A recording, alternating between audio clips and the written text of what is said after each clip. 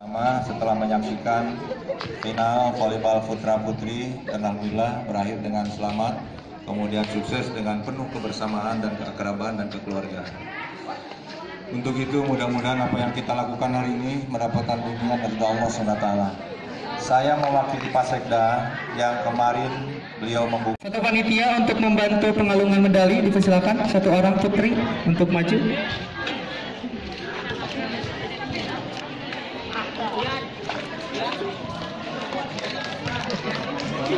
Ya, beri tepuk tangan untuk juara tiga dari SMP Negeri 1 Lumbung. Terus semangat ya, terus semangat dan terus berkarya untuk olahraga Kabupaten Ciamis, terutamanya poli gitu ya.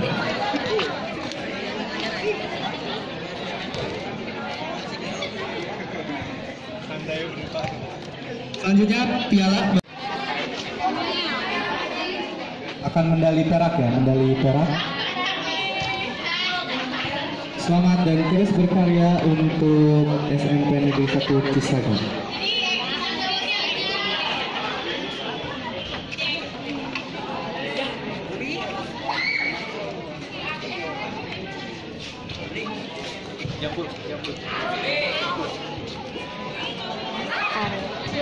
di area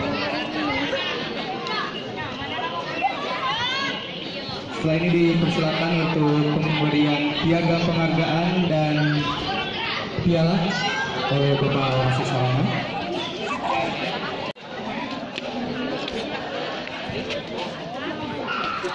Dari SMP Negeri 1 SMP 1 Raja Desa Sudah ada? Ada untuk putra Raja Desa? Penampilannya Kawali SMP Negeri 1 Kawali ada? Mana? Ada, siap. Mungkin jauh ya dari desa sore gitu ya, padahal jauh Cisaga ya. Cisaga. Kemudian mendapatkan piala kejuaraan dan uang pembinaan sekaligus sertifikat kejuaraan.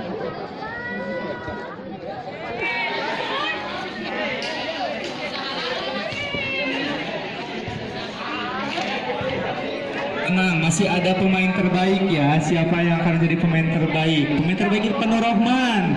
Ivan Rahman? Eh, Ivan Rahman pemain terbaik. Oh iya ya. Ih lucu gitu. Ya biar tidak tegang ya. Yang sangat spesial sekali ya pertandingan tahun ini. Sangat luar biasa aura gitu ya. Dan selamat juga kami haturkan untuk para pemenang. Mudah-mudahan ini menjadikan bekal untuk rekan-rekan masuk ke sekolah favorit, sekolah favorit ya mungkin nantilah bisa gitu ya. Kalau mungkin kalau bisa ke sini lagi nanti kita akan pembinaan oleh guru-guru olahraga yang ada di SMA Satu Kawali untuk bisa benar-benar menjadi atlet provinsi, atlet nasional dan bahkan internasional. Terus semangat dan terus berkarya untuk adik-adik semua. Beri tepuk tangan untuk SMP Negeri 1 Lumbung.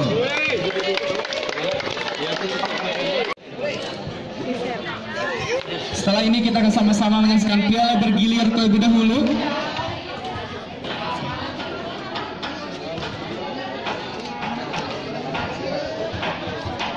Setelah piala bergilir ini kita akan mengumumkan pemain terbaik. Silakan OSIS untuk membawa piala bergilir ini karena berat sekali gitu ya. Nanti yang kalau dibawa ke sekolahnya hati-hati ya. Hati-hati jangan sampai patah gitu ya. Karena ini sangat berharga sekali gitu ya. Lumayan berat lah, lumayan berat gitu ya. Oh, butuh empat orang tuh untuk mengangkat piala bergilir kali ini gitu ya. Bagi yang bawa motor, hati-hati ya, jangan sampai kecepatan, wah, nanti takutnya ketebak angin ya pialanya. Pulang-pulang tinggal satu senti gitu. ya. Nanti kita bisa sambil foto ya bersama Bapak Asda. Nanti bisa foto ya. Nanti silahkan bergantian gitu ya para pemenang. Jangan segan-segan untuk berfoto gitu ya. Ya, selanjutnya kita akan penyematan piala, pemberian piala.